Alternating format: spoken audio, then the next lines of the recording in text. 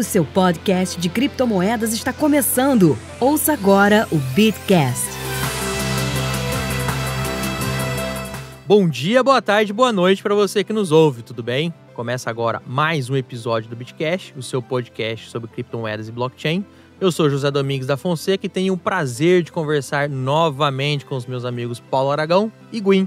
E hoje nós vamos conversar sobre uma importante atualização que ocorreu na, no protocolo do Bitcoin, que vai permitir muita coisa para o desenvolvimento da nossa querida criptomoeda. Mas é tudo isso daqui a pouco depois da vinheta. Já conhece o Bitcoin Sem Medo? Um curso focado em você que quer aprender mais sobre Bitcoin e criptomoedas de uma forma segura. Bitcoin Sem Medo é o curso oficial do Criptofácil. Veja mais detalhes em bitcoinsemmedo.com.br ou clique no link na descrição deste episódio.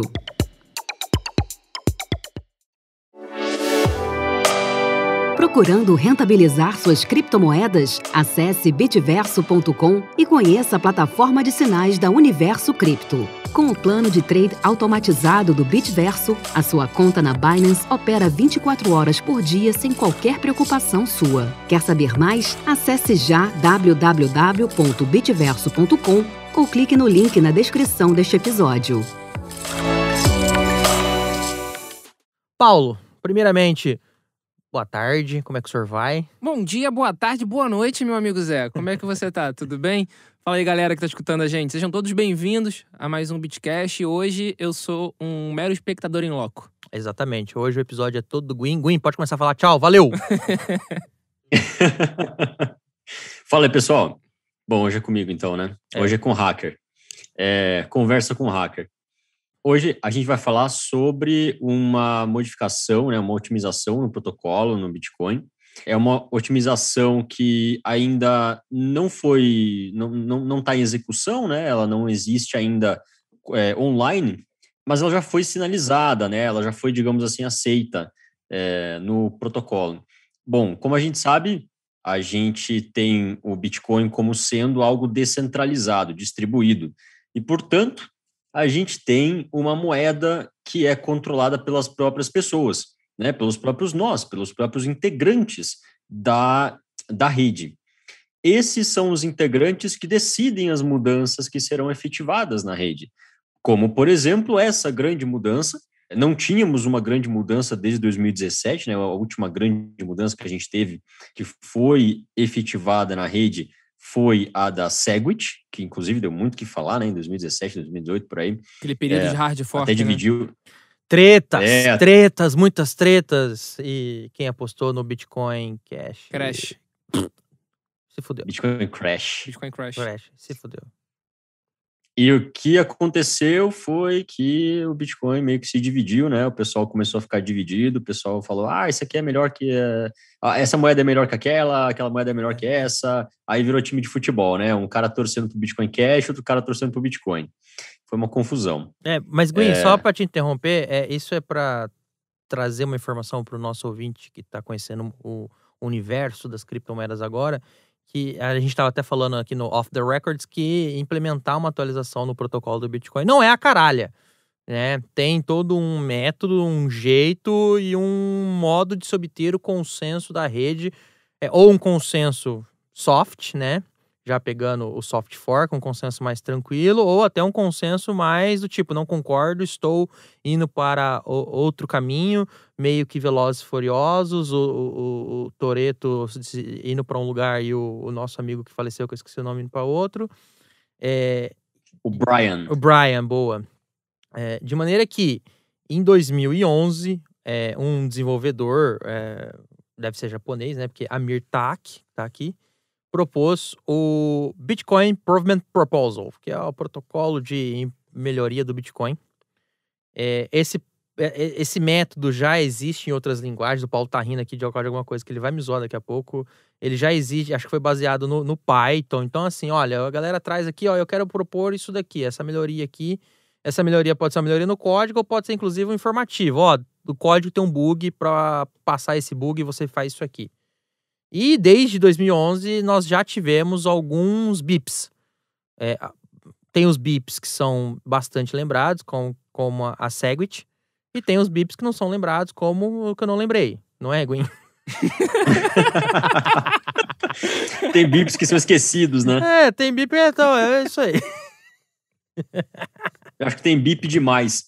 Tem bip para tudo hoje em dia. Vai fazer uma modificaçãozinha pequenininha ali. Ah, vou fazer uma modificação que vai melhorar 1% na, na velocidade da rede. Pum, cria um bip. É o bip 742914, né? E ninguém lembra desse bip porque é um bip que não tem muita importância. Os bips que a gente lembra realmente são aqueles grandes, né, que promovem grandes mudanças na rede, até mesmo hard forks, né, que, que são mudanças que um, uma versão 2 é, não, não é compatível, né, com uma versão 1, um, então eles não são retrocompatíveis e tal. É uma mudança maior. É, mas, como o Zé bem falou, para implementar uma atualização na rede, é preciso que as pessoas que são integrantes da rede, né, os nós da rede, é, sinalizem que eles estão de acordo com a nova mudança. Porque se eles não sinalizarem, significa que alguém está querendo impor uma mudança na rede, nas pessoas, né? Bom, Bitcoin é, é descentralizado, Bitcoin é, é, é, é power to the people, né? É poder para as pessoas mesmo. A decisão ela fica a, a, a par das pessoas é, que participam da rede. E essas pessoas elas, através de sinalizações de maneira técnica, né? Na, no protocolo. Ou seja, alguém muda uma chavinha, né? Vamos, vamos traduzir. Alguém aperta uma chavinha e manda uma informação. Exatamente. Alguém aperta uma, uma chavinha como sendo um nó e manda uma informação dizendo: olha, eu aceito essa modificação aqui. Então, no caso da Segwit lá em 2017, foi assim. É, o cara simplesmente pensa, pô, eu não estou de acordo com essa Segwit, não. Eu acho que vai ser uma coisa ruim, eu acho que vai desvalorizar o meu Bitcoin. É, enfim, a pessoa tem lá as razões dela, né? E ela usa essas razões para sinalizar o, o, desacordo, né? Para ela negar a modificação. Bom, isso é feito de uma maneira transparente, porque o Bitcoin, como a gente já viu, é, é extremamente transparente, né? Transparência total, tá tudo ali na rede, você pode acessar e ver. É, então, não tem como ser fraudado esse tipo de votação também. Além de não ter, não ter como fraudar a moeda, né? Além de não ter como fraudar a transação, é, também é impossível fraudar é, o resultado de uma potencial votação é, para alguma modificação. Então, a gente tem certeza que uma votação dessa ela é legítima, porque ela ouve todas as partes e se tiver uma porcentagem muito grande, acima de, sei lá, N% lá. É, a desse é, foi 90%. É um quórum bastante elevado, inclusive. Vamos, vamos, vamos falar. 90%, né? É. é praticamente todo mundo, né? Uhum.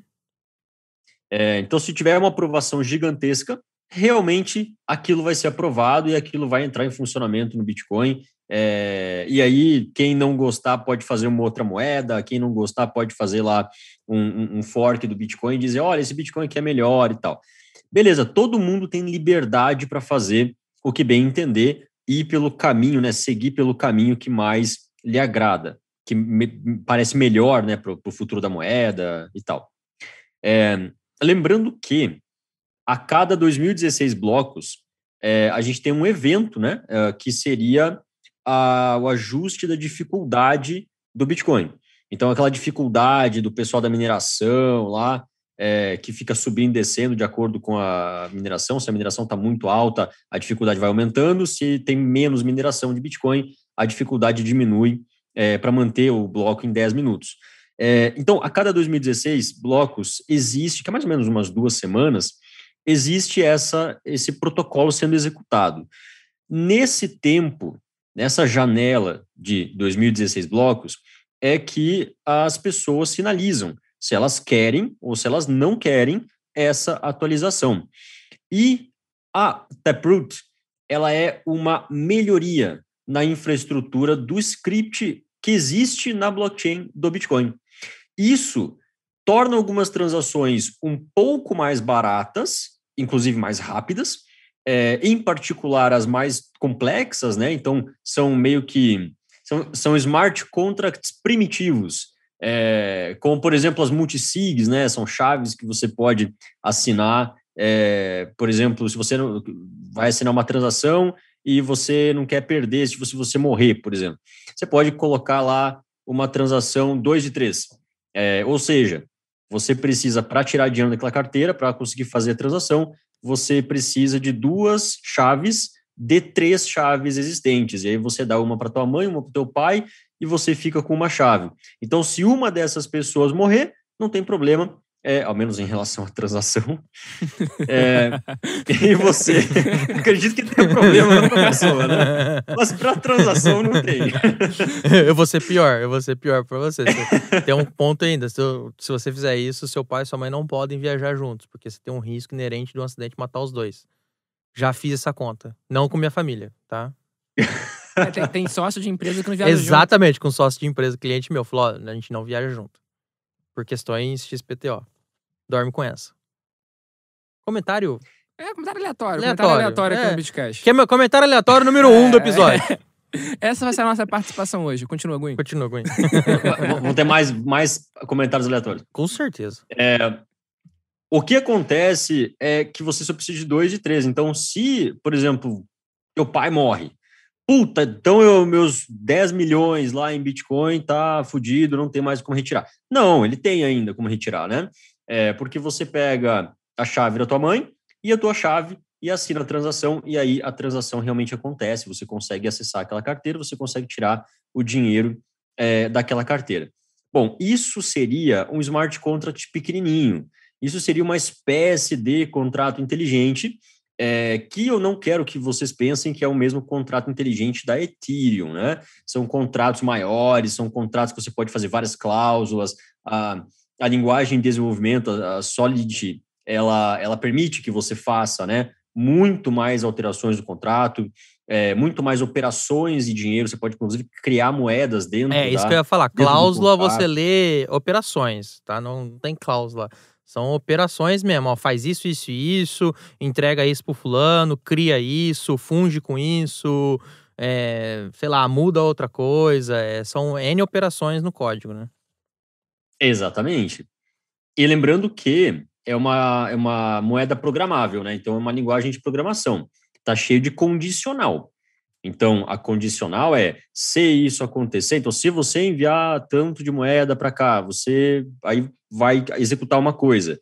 Se não, vai executar outra coisa. Aí vai ter outra condicional. Ah, se isso vier da carteira tal, vai acontecer isso aqui, se não, vai acontecer esse outro, né? Uhum. Então, isso é, como sendo linguagem de programação, isso acontece o tempo todo. E não é com a mesma complexidade desses smart contracts que existe, por exemplo, na Ethereum, em outras blockchains mais complexas, é, que a gente está falando aqui. A gente está falando de transações um pouquinho menos complexas, transações realmente primitivas, transações é, de smart contracts menores. É, e mais importante, ele faz a, essa atualização, ela faz com que muitos outros tipos de transações pareçam indistinguíveis umas das outras, o que melhora a privacidade.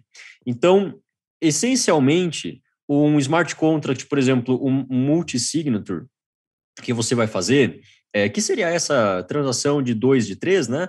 É, você tendo duas chaves de três existentes, você pode assinar uma transação. Esse, essa transação, ela agora, do jeito que está, você consegue ver na blockchain e consegue perceber que é uma transação desse tipo, que é uma operação desse tipo. Com ela deixa bastante pegada, vamos dizer assim. Exatamente. Com o Taproot, você não consegue distinguir se é uma transação normal, se sou eu enviando dinheiro simplesmente para o Zé, pronto, é uma transação um para um, simples, é pegar meu dinheiro aqui, enviar para ele, acabou, né? é, ou se é uma transação mais complexa, se é uma operação maior, de um, de um contrato maior, é, como é o caso dessa, do exemplo é, das dois de três assinaturas. É, esse, esse smart contract primitivo, portanto, ele vai, ele vai se tornar um smart contract com mais privacidade. É, lembrando que as privacidades em diferentes blockchains elas têm níveis diferentes, né? Então, quando a gente fala que vai ter mais privacidade, eu não estou querendo dizer que o Bitcoin vai virar uma Monero. Eu não estou querendo dizer que o Bitcoin vai ficar tão é, anônimo, tão privado como uma Zcash, certo? Com a Zero Knowledge, é, com tecnologias que são específicas para anonimidade. É, o que eu quero dizer é, as transações mais complexas, elas não poderão ser distinguíveis, elas serão indistinguíveis das transações mais simples. Win, para o pessoal saber, por exemplo, ah, mas quem que usa uma assinatura 3 de 2, é, 2 de 3 hoje em dia, ou, sei lá, 4 de 5, inclusive acho que tem limite, eu salvo engano, o limite é 15. Não tenho essa certeza, mas algum lugar que eu li, o limite de, no máximo de assinaturas que hoje, antes do, do Taproot, que o protocolo aceitava, eram 15 assinaturas, e aí as combinações você fazia. Agora, a infinita além. É, é, isso é importante, por exemplo, para quem custodia Bitcoin tanto uma exchange que tenha lá a sua cold wallet, regra básica do rolê. Normalmente, se é uma boa exchange, né? Se é uma exchange decente, uma parte, 20, 10% das moedas estão numa hot wallet que é ligada na internet, e outra, a grandíssima parte está numa cold wallet que não está ligada na internet, não tem. Ela é, ela, ela é operada com humanos. E aí você pode, por exemplo, programar que na verdade não é um humano, porque você também tem um risco dessa pessoa ser sequestrada, morrer, sei lá, qualquer coisa mas podem ser alguns humanos que têm que assinar ao mesmo tempo para essa transação ocorrer. Isso ocorre também, por exemplo, alguns fundos, que já está ocorrendo é, no mundo, alguns fundos estão investindo é, em criptomoedas, estão adquirindo criptomoedas e eles, no fundo, não têm o know-how para guardar a criptomoeda. O know-how dele é gerir dinheiro de terceiro. Então, ele contrata lá, por exemplo, a Coinbase tem esse serviço, tem outras empresas que têm esse serviço, é, e uma questão muito de segurança é essa empresa que faz o serviço de custódia fala: olha, não vai ser uma pessoa, vai ser duas, às vezes pode ser alguém da custódia com alguém da gestora, para dar uma, uma transparência melhor, para dar, inclusive, falar, só vai mexer quando os dois quiserem. Então, isso já existe, isso é importante por isso. E a questão da privacidade, é muito importante a gente deixar claro. O Bitcoin não vai virar Monero, o Bitcoin não vai permitir que, como fazem ou tentam fazer a, a, alguns membros da mídia de que Bitcoin vai virar coisa de bandido e bandido não vai ser rastreado. Não, é só vai ter algumas camadas a mais de, de, de, de privacidade, de maneira que as pessoas não vão informar numa transação algumas pegadas de, de, de metadados que possam levar à sua identificação. Mas, novamente, acho que inclusive o Gwyn falou, reforçou isso no último episódio. É, se você conseguir identificar aquele endereço do fulano, você rastreia toda a cadeia é, dessa daquela transação, para frente, para trás, ao infinito e além. Não é, Gwen? Exatamente. Quando eu falo que o Bitcoin, com essa atualização do Taproot, é, ele não vai virar uma Monero, é, justamente você ainda tem o Bitcoin sendo rastreável. Então, se você comete um crime com Bitcoin, ainda vai dar para rastrear. Eu só não consigo ver a partir desse momento da Taproot, é, se o que você fez foi uma transação comum, simplesmente enviando um dinheiro para outra pessoa, ou se foi uma transação é, multisig, que tem um pouquinho mais de complexidade, é, e aí tem uma carteira, sei lá, é, 12 de 19, é, com várias condições de é, se você perder a chave, alguém tem uma uma autoridade maior e pode é, resgatar a chave, enfim. É, então, eu não consigo ver detalhes a respeito de como vai ser a assinatura da transação, mas eu ainda consigo perfeitamente rastrear da onde os fundos estão vindo, para onde os fundos estão indo, quem é que está usando esse sistema, é, quem é que está recebendo. então, todos esses dados de investigação, né, de, que seria público, ainda dá para ver na blockchain. Inclusive, você pode acessar é, o site da, de qualquer explorer, né, qualquer explorador de bloco, e você pode ver essencialmente todos os dados é, ali na tua cara, né? Você consegue ver é, qual a transação veio, veio de onde, foi para quem, qual o valor que foi transacionado, qual o valor que ficou com cada pessoa, né? Você vai, ainda vai conseguir ver isso. O que no caso na Monero ou no Zcash, em moedas que são privadas, você não consegue. Entendi. Guinho, tem uma dúvida. Hoje eu tô aqui representando, na verdade, o nosso espectador, que não sabe o que é o Taproot. Me perdoe se me pronúncia estiver ruim. Mas que tá afim de aprender. Você falou que nessa nova implementação do protocolo, agora tem a possibilidade de se fazer smart contracts mesmo primitivos. É primitivo em relação ao, à rede Ethereum, né? Mas tem um avanço significativo em relação ao que é atualmente antes do Taproot de fato ser iniciado? Então, o Bitcoin possibilita tipos diferentes de, de smart contract. É, o problema é a gente entender o que, que são smart contracts e definir é, se as transações são convencionais ou são transações de smart contract, né? Que normalmente a gente fala no Bitcoin como transação convencional e transação avançada. Então, essa transação avançada é que a galera fala que é um smart contract primitivo. É, transações avançadas seriam é, transações com, por exemplo, time lock. Vamos, vamos, vamos falar um exemplo. É, se você tem uma transação com time lock, o que, que é o time lock? Você coloca um tempo na blockchain, um determinado bloco no futuro, que você não, até o qual você não pode mexer aquele Bitcoin. Então, eu envio um Bitcoin para você, um Bitcoin, é, eu aceito. com time lock, você aceita, né? Oh. É, com time lock de, sei lá, daqui a um ano, tá? Eu pego lá o, faço um cálculo rapidinho, né? Cada 10 minutos fecha um bloco, então eu faço um cálculo, quanto que vai ser o bloco daqui a um ano? Beleza, é esse aqui. Ok. Aí eu faço lá a transação e eu coloco um time lock até aquele bloco. Ou seja, nesse caso, eu estou fazendo uma transação que é uma transação avançada. É uma transação que eu estou usando a propriedade que eu acho fantástico das criptomoedas de serem dinheiros programáveis. Ou seja, eu não preciso de ninguém segurando aquele dinheiro para mim, para você não poder gastar. Não, eu já enviei o dinheiro para você, o dinheiro já está na tua carteira, quem pode controlar ele inteiramente é você, você só não pode gastar ele ainda, porque eu fiz uma transação com time lock, eu fiz uma transação avançada. Então, nesse caso, você pode dizer que isso é um smart contract.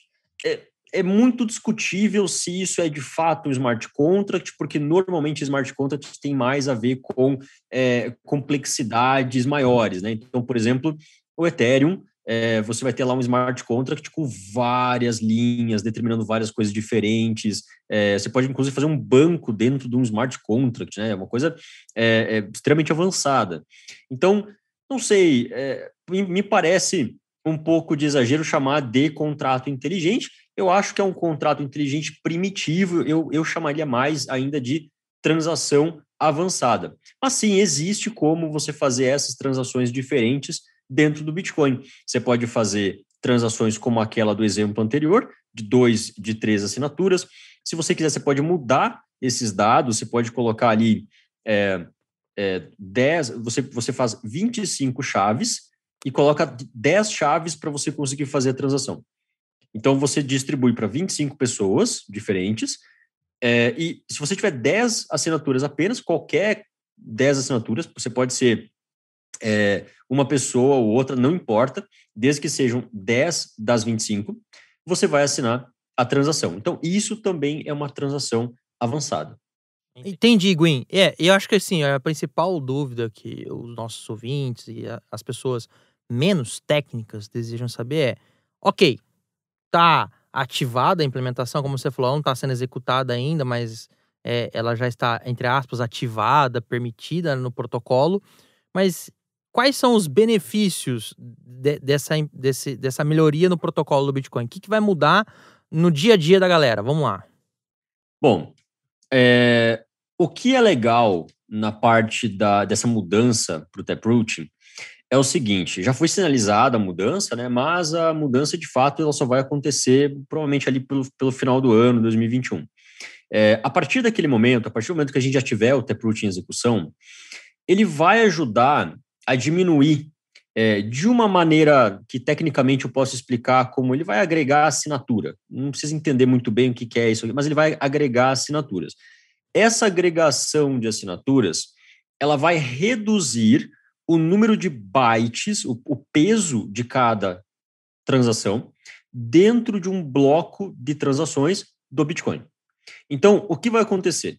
O Taproot, ele vai implementar uma série de tecnologias, uma série de algoritmos diferentes, é, que vai diminuir em cerca de 15%, 20%, por aí, o espaço da assinatura. Lembrando que, de todas as coisas que compõem a transação, a assinatura é uma das coisas mais pesadas, se não for a mais pesada. Né? E mais Tanto importante, é né? Teve, e, e, mais importante, é, é o, que, o que garante a segurança do sistema inteiro, né? Então é, é, é, é fundamental. É, tanto é que a maior discussão que a gente teve lá no Segwit foi justamente por causa da assinatura, né? Uma coisa muito importante para você mexer. É, no caso, em comparação com o sistema antigo, no caso o sistema atual, é, vai ser diminuído essas, essa, o peso dessa transação e, portanto, cada bloco do Bitcoin ele vai conseguir colocar, vai, vai conseguir aguentar 15%, 20%, até 25% mais assinaturas, mais transações, mais dados dentro dele. Então, cada bloco vai ficar com mais assinaturas, o que tende a fazer, é, tende a ocasionar alguns efeitos a, a, curto prazo e a médio prazo também. É, que seria o quê? Com mais assinaturas sendo incluídas no bloco, a gente consegue colocar mais transações no mesmo bloco. E com mais transações no mesmo bloco, tende a acontecer que as taxas vão diminuir. Por quê? Porque quanto maior o número de pessoas fazendo transação, maior é a competição por lugar dentro do bloco. O bloco tem um tamanho limitado, né? Ele não pode simplesmente. Se você mandar um monte de transação de é, zero de taxa, é, provavelmente não vai ser aceito, né? Então, tem muita competição para ser incluído dentro de um bloco no Bitcoin, na blockchain. É, quando você tem mais assinaturas dentro de um bloco, você acaba barateando as transações porque você tem mais capacidade de lidar com um maior número de transações. Isso significa que, se você envia uma transação para a blockchain, ela tende a ser aceita, confirmada, com mais rapidez, né, porque vai entrar mais assinaturas dentro de um bloco, vai entrar mais transações dentro do bloco, provavelmente a tua transação vai estar lá.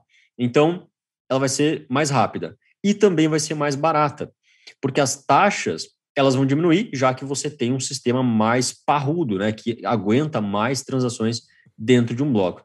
Inclusive, é, como as assinaturas elas são menores, elas são mais leves em relação ao sistema atual, que é de curva elíptica, é, você tem problemas que serão evitados. Então, por exemplo, em 2017, 2018, por aí, quando deu aquele boom né, do Bitcoin, acho que boa parte das pessoas aí lembram, a gente teve um problema muito grande que foi o do o, o ataque de spam. O que é um ataque de spam? O cara vai lá, pega um milhão de transações, joga um milhão de transações de 0.000000, sabe? Dust transactions, transações pequenininhas, é, para fazer para conseguir fazer um spam né, na, na blockchain. Para inundar um a rede. Vamos, vamos, vamos lá. Ele está inundando a rede. rede com transação lixo, inclusive. Exatamente. Você faz um monte de transação inútil ficar no bloco, é, tirando o lugar da transação que realmente deveria estar no bloco, que é a transação real, né, de uma pessoa que está realmente querendo usar a rede.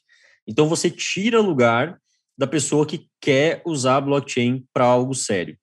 Bom, no caso do spam ataque, é, você precisaria enviar muitas transações, certo? Ao mesmo tempo, para conseguir, é, conseguir bloquear as transações legítimas fora do bloco. Ou seja, você precisa inundar o bloco de forma que o bloco fique cheio de transação inútil e não consiga processar as transações boas.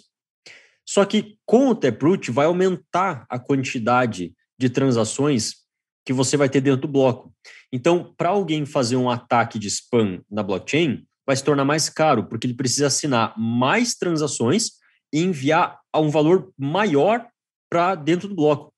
Ou seja, com mais transações, com, sei lá, 20, 25%, 30% mais transações dentro do bloco, você vai ter um valor é, diretamente proporcional de preço, de, de, de, de taxa de transação que a pessoa uh, operadora desse ataque, né, o atacante, vai ter que pagar para conseguir é, efetivar esse ataque. Ou seja, vai indiretamente tornar o sistema mais seguro, tornar a blockchain mais segura.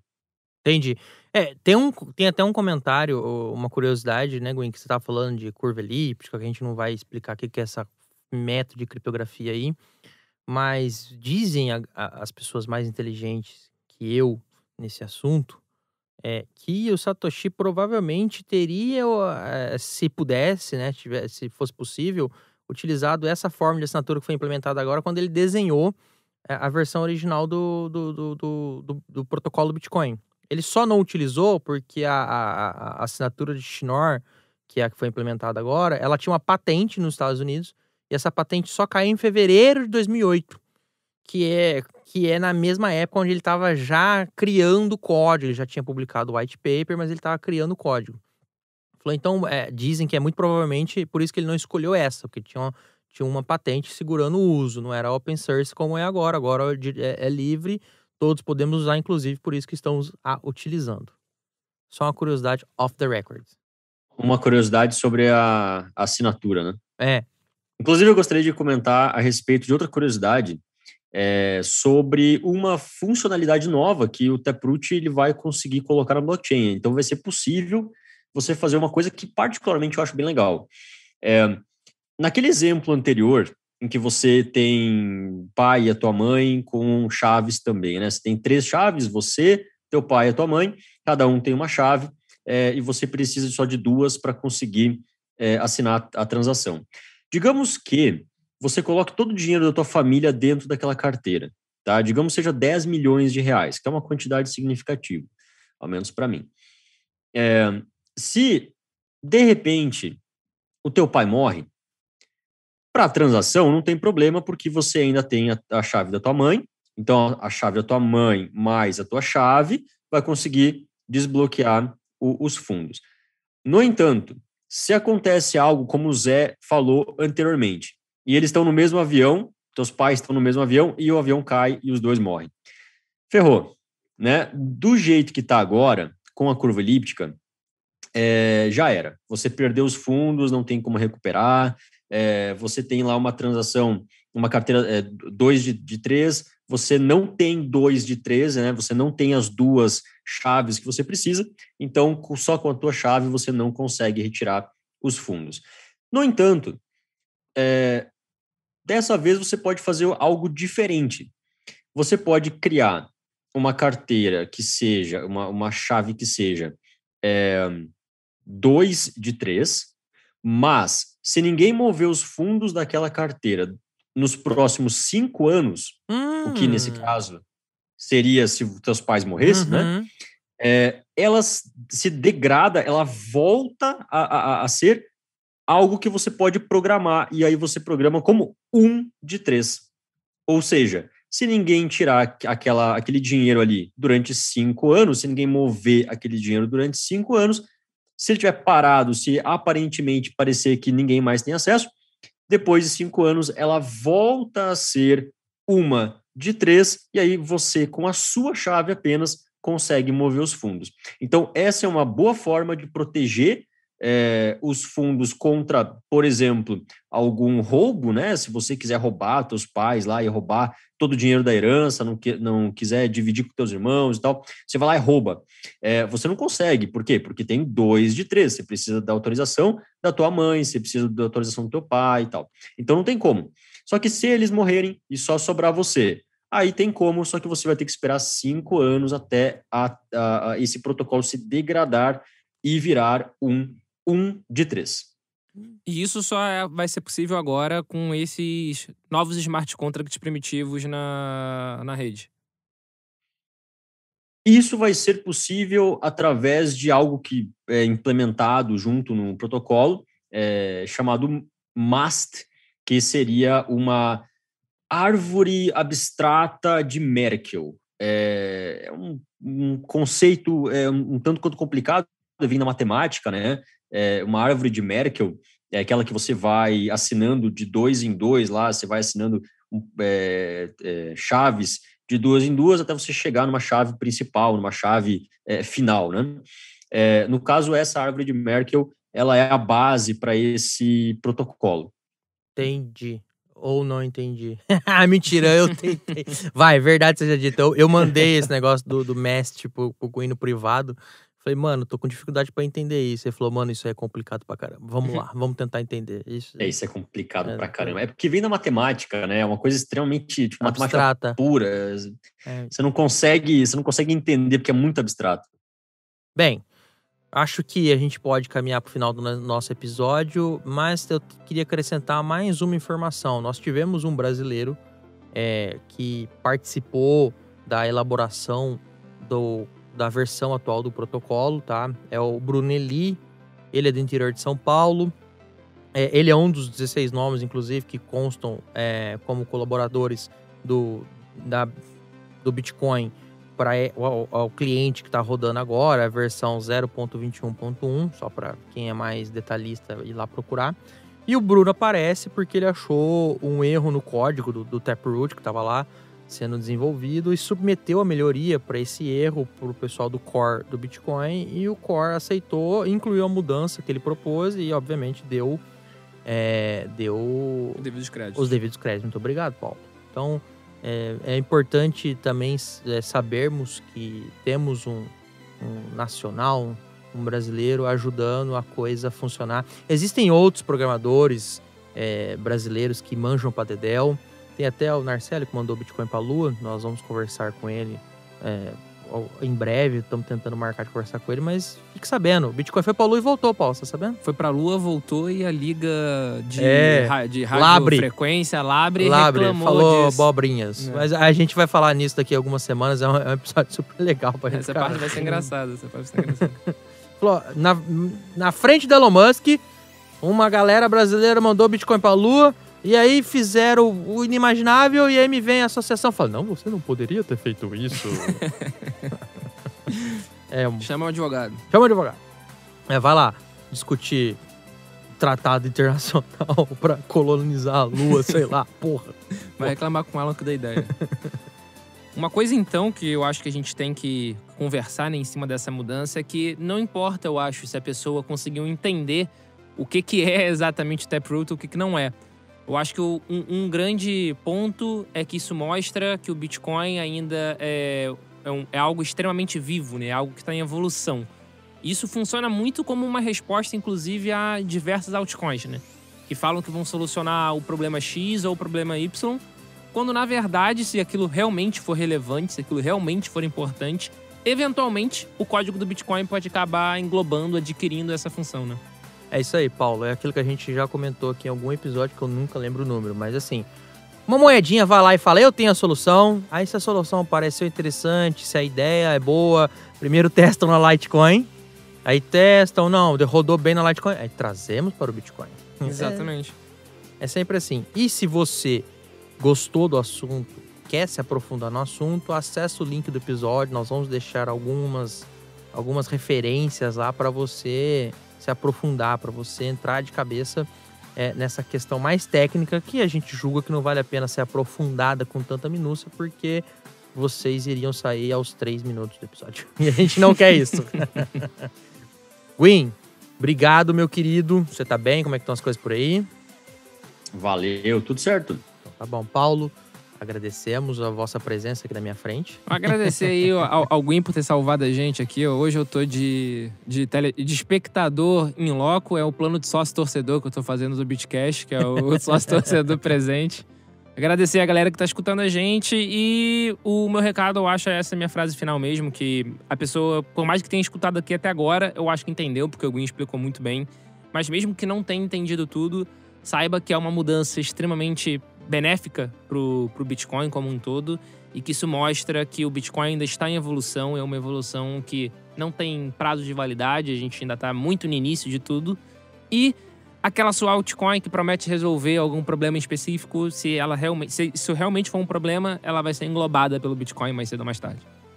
Essa é a É, maravilha. inclusive, co- como ah, essas mudanças promovem é, melhorias significativas na velocidade, na eficiência da rede do Bitcoin, é, o preço do Bitcoin pode, inclusive, subir, né? Em decorrência disso. Sim, diversos analistas têm falado, na verdade, que quando essa mudança, quando esse protocolo novo, né, ele for de fato implementado, pode ter uma, um novo período de bull. Uhum. Ah, e só fazer um disclaimer aqui também. Como aconteceu com a Light Network. A coisa não vai ser implementada, ó, semana que vem vai ter coisa rodando, mês que vem vai ter coisa rodando. Não, mas aos poucos, assim como a Light Network, agora começaram a aparecer mais, mais nodes é, rodando. É, as coisas vão sendo implementadas, os desenvolvedores vão elaborando é, melhorias que mudem a nossa vida como usuário final na, na, na ponta final. O Bitcast é uma produção da Universo Cripto em parceria com o criptofácil.com. Este episódio foi gravado e editado pelo estúdio Playground no Rio de Janeiro. Valeu, galera. Até a próxima. Valeu! Valeu! Este episódio foi uma produção da UniversoCripto.net em parceria com criptofácil.com.